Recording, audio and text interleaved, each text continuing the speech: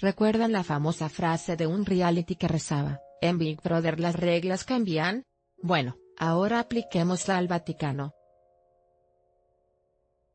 El 4 de julio fue publicado el documento Ecclesia Sponsae Imago por la Santa Sede, el cual cambia la percepción de la virginidad, según la Iglesia. El documento incluye una cláusula que expone que la virginidad física ya no es un prerequisito esencial para la consagración, es decir, que si eres mujer y descubres que tu vocación es servir a Dios, ya no debes preocuparte tanto por este tema. Esta cláusula aplica para las vírgenes consagradas, aquellas mujeres que buscan vivir en castidad eterna para servir a Jesucristo y el cielo.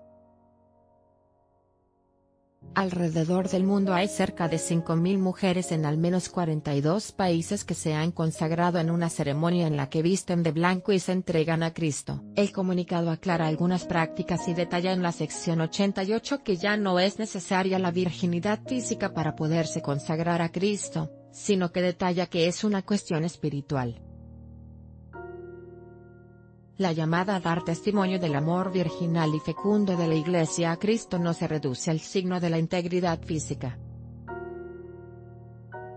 Haber guardado el cuerpo en perfecta continencia o haber vivido ejemplarmente la virtud de la castidad, aunque es de gran importancia en orden al discernimiento, no constituye requisito determinante en ausencia del cual sea imposible admitir a la consagración. La nueva cláusula muestra una mentalidad menos ortodoxa y más incluyente por parte de la Iglesia y podría abrir el diálogo a que las mujeres que deseen servir a Dios ya no sean juzgadas por lo que hacen con sus cuerpos. Sin embargo, la Asociación de Vírgenes Consagradas de Estados Unidos se mostró inconforme ante esta nueva disposición. Toda la tradición de la Iglesia ha sido mantener firmemente que una mujer debe recibir el regalo de la virginidad, tanto física como espiritual, para poder recibir la consagración de virgen. Con información de Radio Fórmula y Noticieros Televisa. Anímate a comentar. Queremos saber tu opinión. Comentarios Power Eva y Facebook Comments.